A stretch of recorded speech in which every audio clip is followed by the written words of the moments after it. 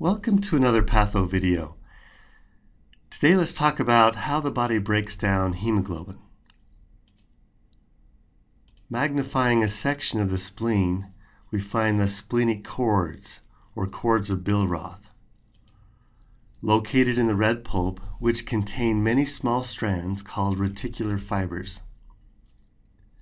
Most of the blood flows through the spleen quickly, but a portion of the red blood cells must slowly navigate their way through these reticular fibers of the spleen's red pulp.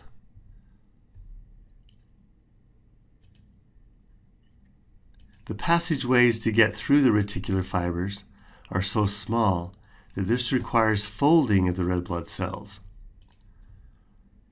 Old or senescent erythrocytes lose this folding ability, and the cells end up rupturing in the cords of Billroth. Intermingled in the fibers, macrophages are lying in wait to destroy and will phagocytose the old red blood cells. If you're a fan of the movie series Lord of the Rings, you may compare this process to the trees of Fangorn Forest, destroying the orcs. So please, if you're an old red blood cell, don't enter the cords of Billroth, or you will be destroyed. As just mentioned, one of the important functions of macrophages, of primarily the spleen and also the liver, is to break down senescent or old red blood cells.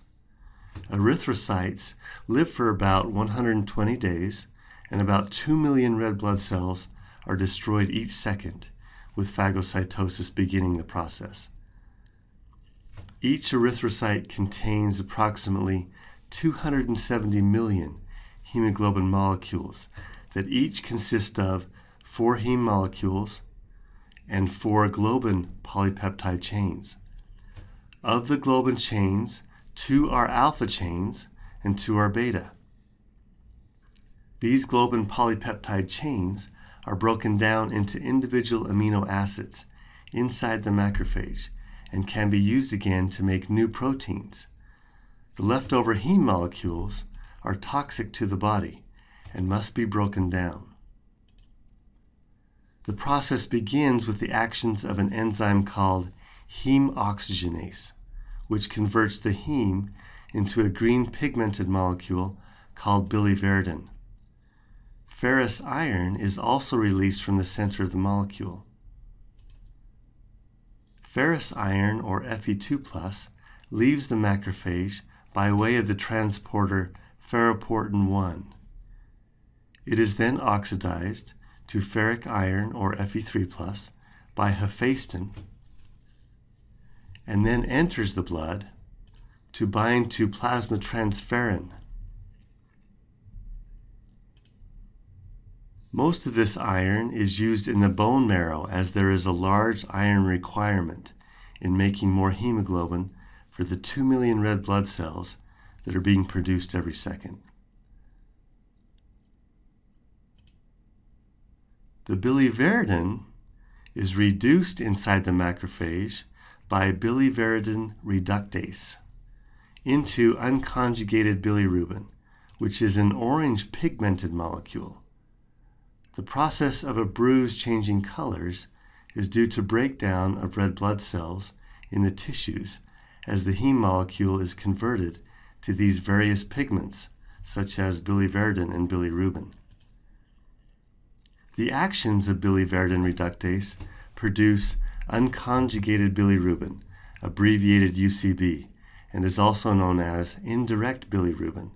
UCB enters the blood, and since it is quite lipophilic, it must be bound to albumin, since the blood is aqueous solution and is hydrophilic. Bound to albumin, the UCB travels to the liver for further processing.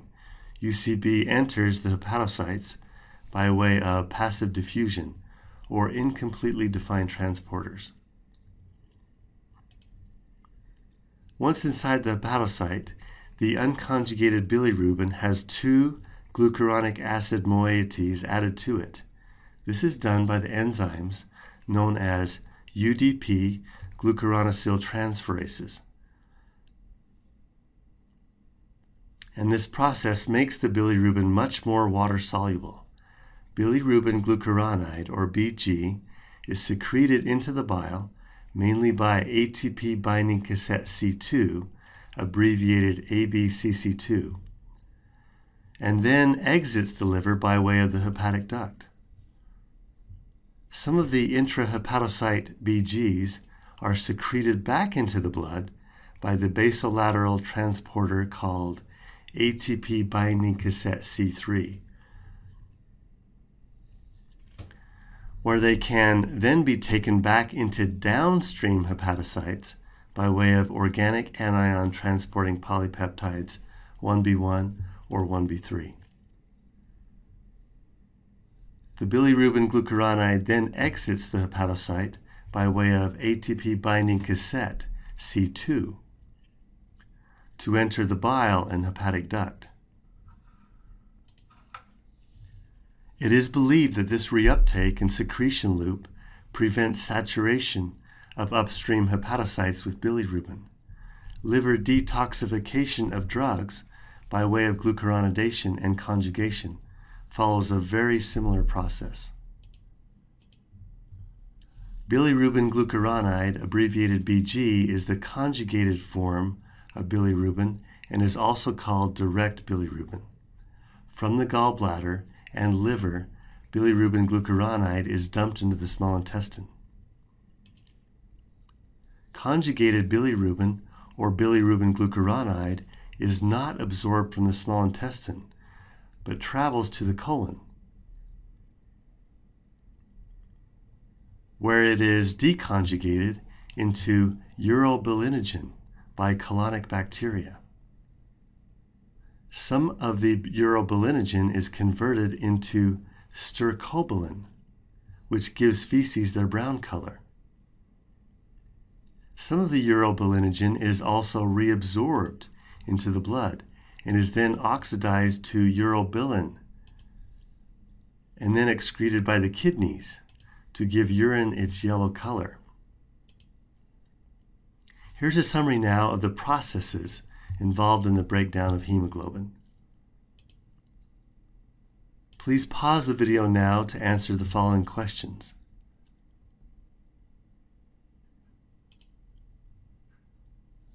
This concludes the video on hemoglobin breakdown. Thanks for watching.